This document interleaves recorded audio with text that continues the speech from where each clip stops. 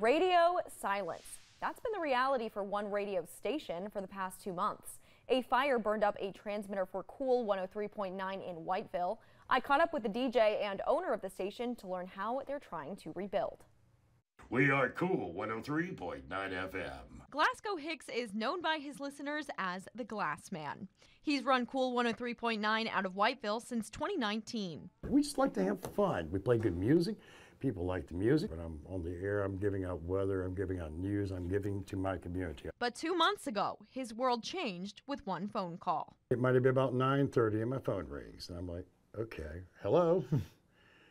Transmitter's on fire. My FM transmitter completely gobbled up in flames, completely wasted.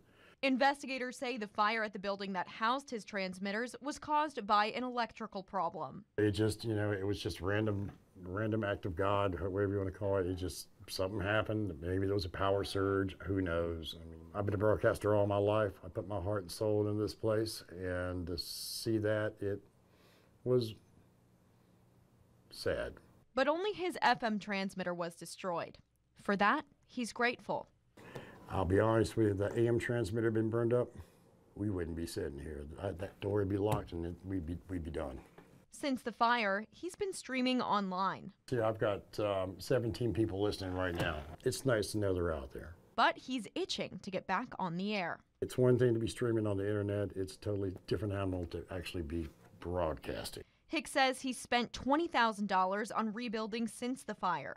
With the new transmitter, he's hoping to be back sooner rather than later. And I can promise you this we are going to come back bigger and better, and we're going to make you proud.